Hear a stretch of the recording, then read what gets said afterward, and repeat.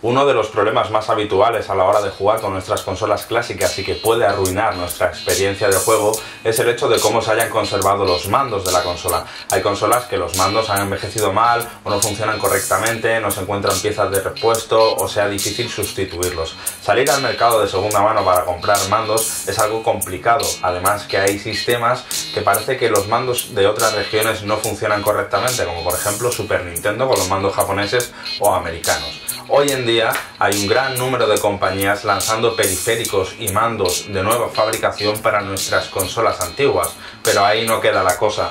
Como sabréis, a raíz del lanzamiento de las mini de Nintendo, Nintendo ha lanzado este tipo de cosas, mandos clásicos, antiguos, con los mismos materiales de construcción o muy similares y las mismas cotas de calidad, con la misma comodidad o incomodidad, como lo queramos ver, compatibles para las consolas virtuales de Wii, Wii U y para las mini de Nintendo. Hoy vengo a contaros qué experiencias me da este cacharrito que además combinado con este otro cacharro de H Vido nos permite utilizarlo en nuestra Nintendo original. Bienvenidos al cacharreando número 2.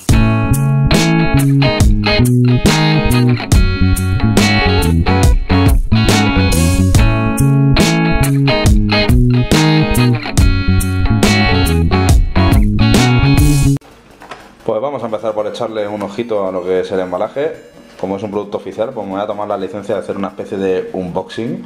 Y bueno, la verdad es que no recuerdo cómo era el embalaje de estos mandos, supongo que así, ¿no? Los de Super Nintendo sí que los recuerdo. Y a ver qué especificaciones tiene. Dice que este mando se puede utilizar con determinados juegos en las consolas Wii U, Wii y Wii Mini si se conecta a un mando de Wii. Sus prestaciones se verán limitadas cuando no se use conversiones de juegos de NES para la consola virtual. Pues lo que ya vaticinaba y para lo que realmente he adquirido yo el control este, ¿vale? Para utilizarlo a través del Wiimote o las consolas clásicas también, pero sobre todo para el Wiimote. Pues vamos a empezar a, abrir. Es una pena porque no, no son solapas. Yo no sé esto cuando lo abra, esto viene aquí pegado. Ah, cuando lo abra esto va a quedar mal la caja y me mola mucho el mundo caja del mandito este para dejarlo ahí en la estantería porque la verdad es que es bien bonita. Tengo ya aquí preparado el original de NES para compararlo, el que venía con la consola. Esto, aunque viene pegado, lo voy a dar así un poquillo con el cúter para no llevarme todo el pegamento. Que digo ya, ¿cómo ponen esto con pegamento ahí, tío? Oh. Va a cargar la caja sí o sí para abrir esto. Muy mal, Nintendo. Muy mal. ¡Ah! ¡Ah! ¡No! ¿Qué tenemos aquí? Típicas instrucciones barra manual de seguridad estilo Amiibo. Nada en 25 millones de idiomas. Y el mandito perfectamente embalado.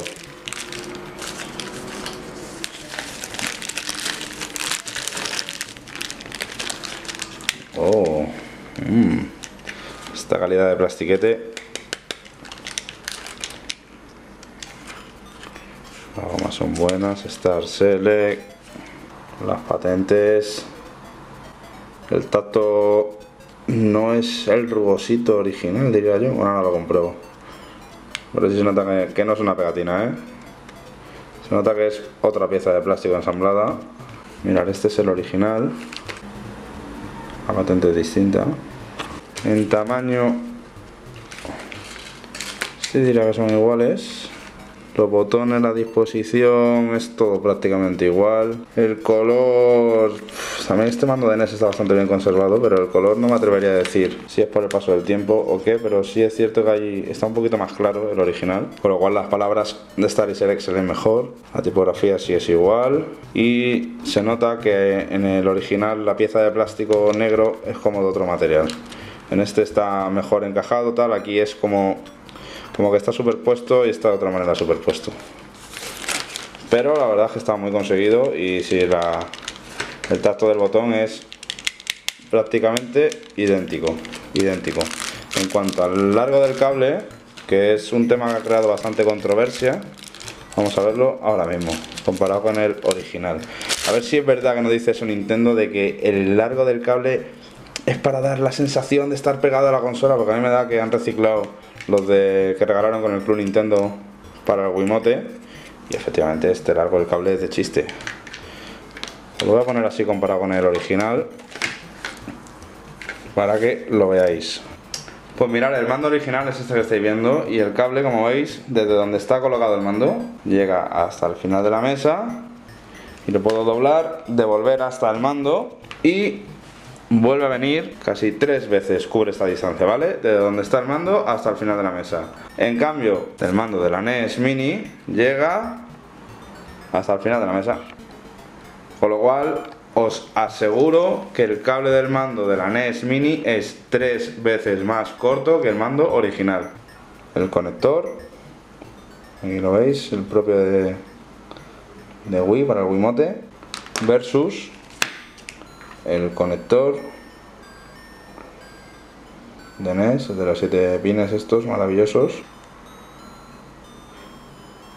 Pues eso es, la verdad es que bastante, bastante similar el tacto y gomas nuevas, uy, se nota, se nota la goma nueva, se nota muchísimo, muchísimo. Voy a darle caña. Joder, lo peor es la caja, tío. ¿Cómo me hacéis esto, Nintendo?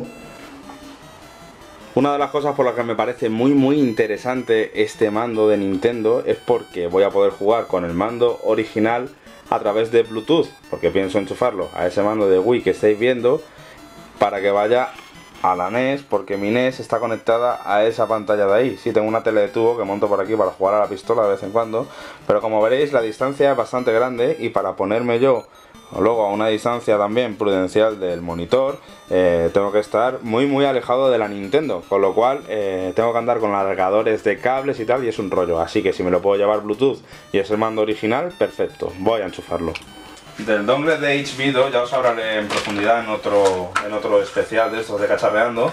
Pero vamos, funciona muy muy sencillo no requieren batería y además lo podéis usar por el Bluetooth que viene tanto en PC como en Switch como en cualquier otro tipo de sistema. Simplemente lo conectamos.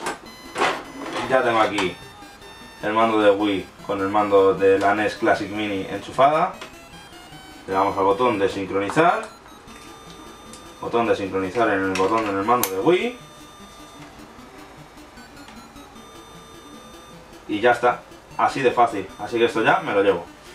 Vamos a echar una partida al Chippy Chop de Capcom para Nintendo NES es un auténtico juegazo. Eh, sigue la estela de las plataformas de Capcom, de Nintendo, de Disney, como pudiera ser eh, DuckTales, aunque en mi opinión no llega al nivel de DuckTales. DuckTales es que es enorme. O del Pato Darwin, o de los títulos licenciados de Capcom como Dream Master, Nemo Dream Master. Es un juego muy muy interesante, lo recomiendo mucho. el mando, la sensación es exactamente igual que el de la Nintendo, pero nuevo por completo. Mis mandos de Nintendo no están en mal estado, pero como veis, os lo he enseñado antes, la distancia entre la Nintendo y mi monitor o mi televisión suele ser bastante amplia, entonces es muy interesante, lo quiero sobre todo por el tema del Bluetooth, ¿vale? Así que, bueno, funciona a la perfección, cero lag. Muy, muy bien. Bueno, bueno, bueno, bueno. Vamos, chipito, rescatadores. Para los que no lo sepáis, eh, los rescatados, tanto Darwin Duke como el DuckTales, como este Chip, and Dale Rescue Rangers, que en España eran Chip y Chop los rescatadores, Pato Aventuras o el Pato Darwin, ¿vale? Eh, salen de un programa infantil americano llamado eh, Disney Afternoon. En España lo tuvimos bastantes años después, pero llegó como Club Disney. Y eran series de televisión con personajes clásicos de Disney, como Chippy Chop, como... Eh, había otra que se llamaba Terry Spin, que en España no me acuerdo cómo se llamaba, que era un oso que dirigía, pilotaba un avión, un avión de estos antiincendios, de los guardabosques, estaba chulísima también, un hidroplano.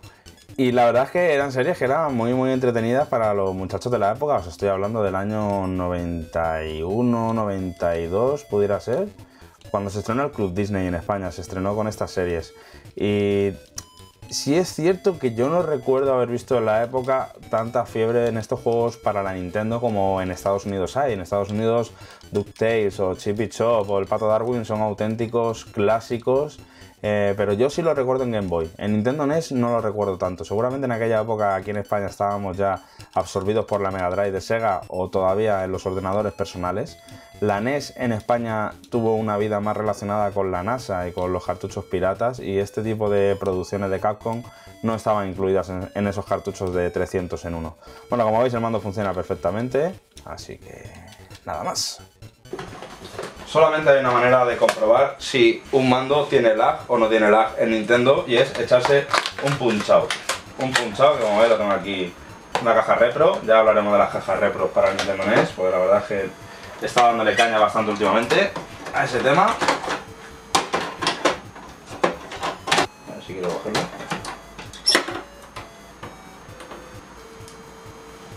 Bueno, lo voy a capturar así un poquillo el juego a los Warry Pagers, es simplemente para probar que no haya ningún tipo de lag o que note algo raro, porque desde luego este juego sí es bastante exigente en el tema de controles.